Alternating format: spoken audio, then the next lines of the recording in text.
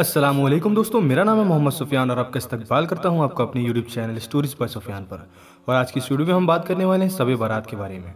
तो बिना स्किप करे वीडियो को पूरा ज़रूर देखिए। वीडियो शुरू करने से पहले आपसे गुजारिश अगर आपने हमारे चैनल स्टोरीज बाय सुफियान को अब तक सब्सक्राइब नहीं किया है तो प्लीज़ सब्सक्राइब कर लीजिए और बाजू में उस बेल आइकन को भी दबा दीजिए। तो चलिए शुरू करते हैं आज की वीडियो सबे बारात। इस्लामी साल के आठवें महीने को साबान का महीना कहा जाता है और उसकी पंद्रहवीं रात को शब बारात कहा जाता है। यह बड़ी मुबारक रात है। इस रात में अल्लाह करीम अपने उन बंदों को बख्श देता है, जो अपने गुनाहों से सच्ची तौबा करके नेक बन जाते हैं। इसलिए इसे नजात की रात भी कहा जाता है। क्योंकि इस रात हम अपने गुनाहों से तौबा करके जहन्नम से नाजात का परवाना हासिल करते हैं। यह इबादत की रात है। इसलिए हमें चाहिए कि हम फ़र्ज़ नमाजों की पाबंदी करें और अपनी आखिरत संवारने के लिए कुछ नफली इबादत करें। क्योंकि अल्लाह के दरबार में बंदों के मर्तबे नफल इबादतों की बदौलत बढ़ते हैं। शर्त यही है कि फर्जों में कोई कोताही ना बरती जाए। अल्लाह तौफीक दे तो इस रात दो रकात नफल नमाज़ तहियतुल वज़ू की नियत से पढ़ें। हर रकात में अलहमद शरीफ के बाद एक बार आयतल कुर्सी और तीन तीन बार कुल अल्लाह शरीफ पढ़ें। दूसरा, दो रकात नफल पढ़ें। हर रकात में अलहमद शरीफ के बाद एक बार आयतल कुर्सी और पंद्रह बार कुल अल्लाह पढ़ें।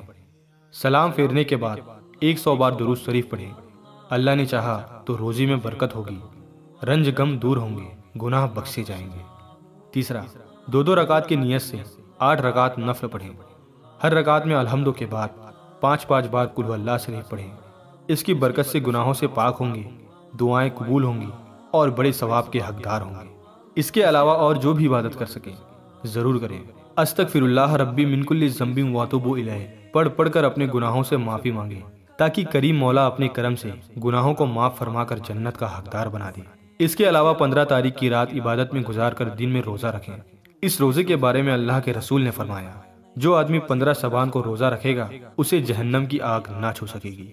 जहन्नम की अजाब से महफूज रहेगा।